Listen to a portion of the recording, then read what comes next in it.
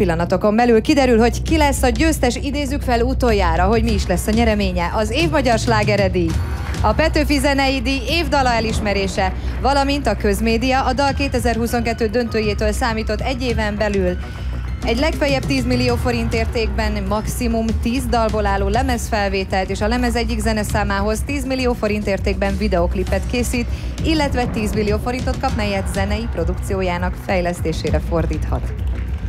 Ez, ha nem lenne elég, van egy szuper külön díjunk a Dal 2022 győztese, az Audio Technica Creator Pack nevezetű otthoni stúdiószettjével lesz gazdagabb, ami kiváló társ egyaránt munkához és szórakozáshoz is, és amit a Best Buy-t ajánlott fel.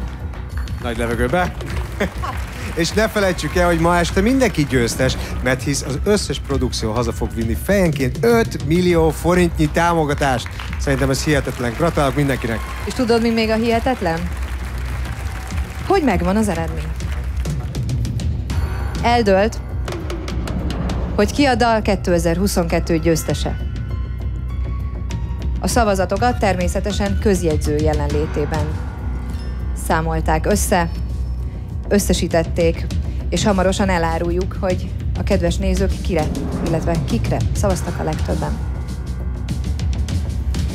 Hölgyeim és uraim! A dal 2022 nyertese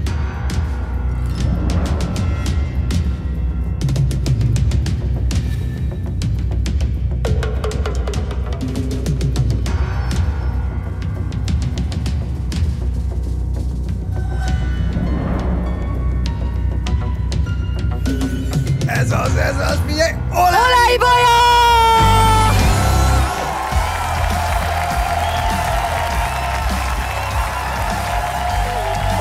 Ibolyának és a Nem adom el című És dalnak. fel, Sok szeretettel gratulálunk. Fantasztikus teljesítmény, hihetetlen, és lássuk, hogy eszi meg a kalapját Ibolya.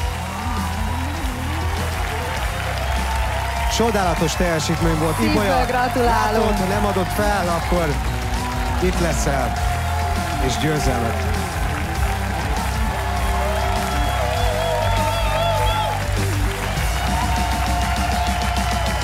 Természetesen mindenkinek szívből gratulálunk, hihetetlen, milyen estén vagyunk túl.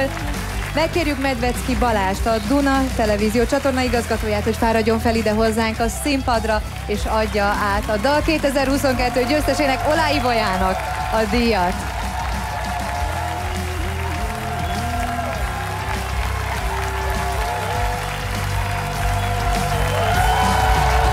Hagy lássuk azt a díjat, hagy lássuk. Óriási az öröm. Azonnal felcsendül a Dal 2022 győztes dala. De lássuk előtte a ma este legszebb pillanatait.